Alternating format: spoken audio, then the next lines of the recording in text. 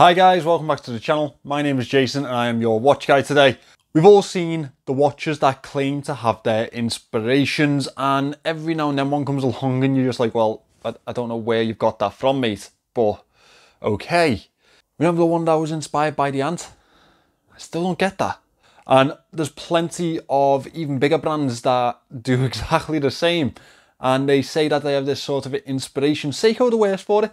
The say that they've got this inspiration from some sort of character or cartoon or something like that, and it's like one splash of colour, and it makes no sense. However, today I'm reviewing a watch from a brand that has absolutely nailed their inspiration.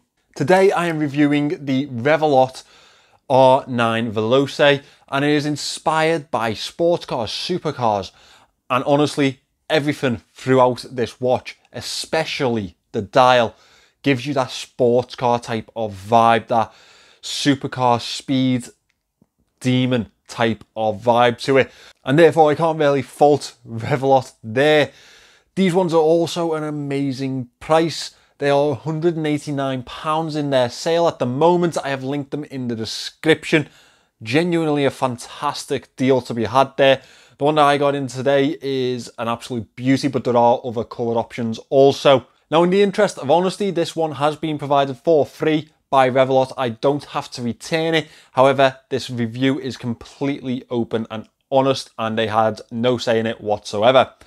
So, with all that out of the way, let me turn this camera around and let's have a look at the Revelot R9 Veloce. So guys, this is the Revelot R9 Veloce. Now they have this in a plethora of different colour options. This one was my pick just for the khaki green and gunmetal type of vibe to this one. I thought that it really did blend well with the design of the watch. I kept seeing these pop up on my Instagram feed and eventually I just got in contact with Revelot because I really, really needed to see it in person. It looks fantastic. It's one of the bigger watches on the spectrum. Well, this one is a little bit of a hard one to judge, to be fair. So you see we have these guard positions either side of the crown here, and they also mirror this side of the casing. Well, if you measure from there to there, this one comes in a 45.5 millimeters. However, if you measure the diameter without them, it comes in a 44.1 and that will probably put a lot of people off straight away. However, let me tell you why that isn't a big factor. The lug to lug of this piece is 50 millimeters. However, it drops considerably straight down due to this lug system and that really does aid the wearability of this piece and it makes it very wearable for people with smaller wrists, including myself. I have a six and a quarter inch wrist and wearing this has been a pleasure for me. I've really enjoyed it. I've really enjoyed how wearable they have made this watch in fact just because of how unexpected it would be that this fits to my wrist. Finishing off the dimension of this piece, it is 14.9 millimeters thick and it is 22 millimeter lugs. However, you won't be changing this one out for another strap. I think it'd be pretty difficult to find one. Plus, I don't know why you would because this strap is really, really nice and it fits the piece very well. Now you'll notice that this is a chronograph watch and it's actually fitted with a Miyota chronograph, Japanese quartz chronograph, however, not the Seikos that we are used to on the channel. This one is packed with a Miyota 6S20, which actually could be a bonus for this watch. Let me tell you why. The layout of the watch itself really does aid in how attractive the piece is. So we have the second counter down here at the six o'clock and that ticks away very nicely. Obviously, you can't see the actual digits or anything like that. It gives an almost car rim type of effect as it spins down at the bottom there. And I do really like that type of design and the ticking really does aid a little bit, I think, to the design of the piece. As well as that, it allows for this date window, double date window up at the 12 o'clock, which again, Gives me a little bit of a car vibe, a little bit of a racing vibe. Maybe because of that heads up type of display that it really allows for. The watch itself has multiple layers throughout the dial. It's very well built and I will get to that very shortly after we piece together this case. Fully brushed finish to the fixed bezel on this piece. We have this guard-like feature to the side of the watch. Now that is completed again with a brushed finish. Layers to the side of the watch also really do aid in the design of the piece. We have a screw down case back on this one, again in a very racing style vibe, and that carbon fiber effect center to the case back really does just complete that look. We have the usual information around the outer edge, including launch edition up here at the 12. Moving to the other side of this piece, you can see the pushers and crown are very well designed. And we actually have a level of texture to the pushers, which makes it really easy to identify on the side of the watch. And as if they weren't big enough already, you know, you can definitely spot them, can't you? Adds a little bit of a design feature to the piece. And that's what Revelot are really about for me. I think that they add small little features throughout their watches that really culminate in a fantastic watch, a very desirable piece to look at really do like that extra sweep that the chronograph hand has when resetting. Now it is a simple pull push crown on this one, as you can see there. First position date, second position time, and the crown is signed and it is in that gunmetal colour, which flows very well with the case. I really do like the contrast that the gunmetal and green, khaki green have to each other, especially on the uh, pushers over to the side here. That really does aid in how aesthetically pleasing this watch is. Sapphire crystal finishes off the casing itself and altogether this watch is provided with 100 meters of water resistance. Now we're going to get into this absolutely fantastic dial. As you can see it's a very simple handset, very simple indice layout. The indices are built into the outer edge of the dial or the chapter ring if you will. Chapter ring is in khaki green around the outer edge with, with a tachymeter feature to it, that measurement around the outer edge there. Very suitable for this type of style, this racing vibe to the chronograph. Up at the 12 o'clock, we have this almost heads up display, as I mentioned previously. It reminds me very much of the speedometer on a more, more recent car. You get that really nice heads up display on them.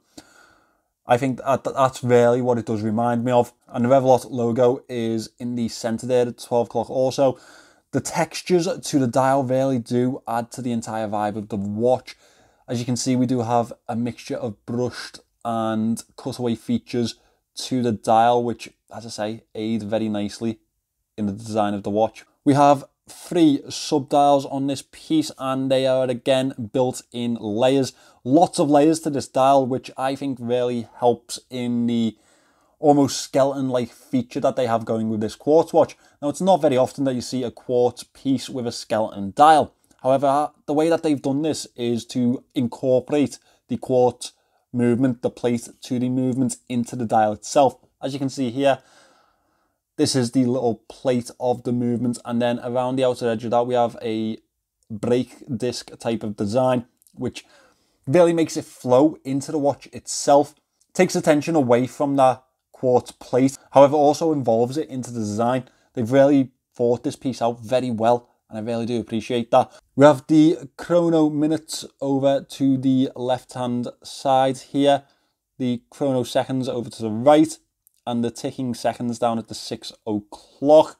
Again, with that turbine type of feel to the ticking seconds, really does add to the design of the watch, the motor vibe to this piece. The indices have a nice level of brushing around them with lume centers. Now, speaking of lume, we're obviously going to get the lume shot on the go here. Let me just get these lights out and we'll talk about the lume on this piece. Okay, so you can see we have a mixture of pale blue and green lume on this one, BGW9C3. So the lume on the handset is spread pretty evenly. However, it's not exactly the brightest in the world. Same goes for the indices, spread rather evenly, however, not the brightest in the world. I understand that this is a racing style chronograph and we are not relying on lume here. Just really something that you should be aware of. The lume isn't going to blow you away. However, it's functional and it will serve the purpose that it should. I mean, if you're going through a tunnel in your car, it'll be perfectly fine. However, if you're trying to dive, it's probably not for you. In fact, you shouldn't expect any dive features from this piece. Let me just be clear about that. I didn't mention the box style handset on this one. Lume in the center with a black center throughout and a nice brushed outer edge. The chronograph hand has a really, really lovely red tip to it. I really do like the disc effect. It, it gives you a nicer feel to the measurement of time passing. I didn't think I'd like the Miyota movements in this, but yeah, it's won me over. It really has. And it, it's definitely kept the price down to a very affordable level. As we move into the band, I decided to leave the really smart lug feature to the band section of this piece. Veloce is inscribed onto the lug there and Revelot up to the top. Now this really pretty genius lug feature makes this watch very wearable for people with smaller wrists like myself. As you can see here, the lugs are built into an almost swing arm type of design and therefore they do go straight down and actuate quite nicely to the wrist. As well as that, we have some really nice features to the lug screws themselves. See, the one thing that I do really like about Revelot is that they build their features very aesthetically pleasingly to the eye. And you can see that in these lugs. Very smart design, as well as being very functional. Following on from that, we have a very smooth and soft rubber band to this piece up to the buckle here. You can see the Revelot inscription, brushed finish, very substantial feeling buckle. Two keepers, and the keeper has a holder on the rubber band there. Let me get this on wrist and show you how it looks on my six and a quarter inch wrists. Here we go. As I say, it fits really nicely to wrist, and you can see that is very much due to that lug design. Now, there was a little bit of hesitancy when this was coming in from Revelo as well as myself, just due to the size of the watch. However, I think it's completely won the smaller wrist vote here because it, it makes that very big style watch very wearable for pretty much everyone, I think. So it makes this a very a much more universal type of fit to wrist. If you're not used to wearing bigger watches, maybe not. However, if you're already in the 42 type of category, I think this is this will fit fantastic for yourself. Very deceivingly big diameter on it. However, works pretty well with that lug uh, feature that we've got here. Very well done to Revelo for that. Now, where are the downsides with this watch? Well, as I just mentioned, size. Not everyone is going to be a fan of a bigger watch, even if it is wearable. It's 125 grams, which on a rubber band, a little bit up there. However, I do like myself, I do like the substantial type of watches when you can really feel it on wrist. The movement isn't exactly what you would call premium. Um, a lot of people do get stuck in their ways with the Seiko movement fan club and how much value for money they bring. However, Miyota do also offer that type of value, as you can see here. Finally, the strap options. Now, I do love this lug uh, feature that makes this so wearable on wrist. However, it does eliminate any strap options that you may have for the watch and therefore corners you into this one strap or if they do sell the strap separately themselves Revelot's strap options which a lot of people do get a little bit turned off by just because we do have massive collections of straps as well as watches in this community so it is nice to be able to use them in conclusion this watch does have its downsides as they all do however I think the thing to take home from this, while this is on sale, £189 is a fantastic deal to be had on this watch. The design of it alone sells that £189.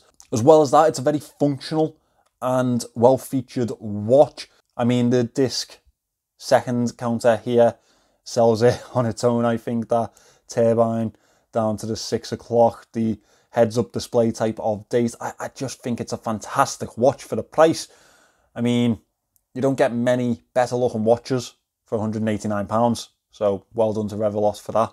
There we go, guys. A supercard inspired watch that actually follows through with what it promises. And the specifications of that piece and the build quality really do outshine the £180 price tag that it does have. I think that's an absolute bargain. And if it's your type of style and you like a little bit of a bigger watch, I definitely think this is an option for yourself. I've linked Revelot's website in the description. That's not an affiliate link or anything like that, but this watch has been provided for free. Do remember that. Thanks for watching this video, guys. Please remember to subscribe to the channel, and I will see you in the next one.